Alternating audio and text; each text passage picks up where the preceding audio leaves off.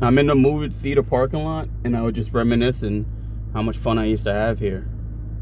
You know, from going on like the first date, yo, you know what I just thought about? The first date I ever went on, I was in sixth grade. And I'll never forget. I went with um I was in sixth grade and this this girl, the girl that I went with was in seventh grade. And I remember kicking it to her. And I was like, hey, you wanna go to the movies this Friday? And she's like, yeah, sure.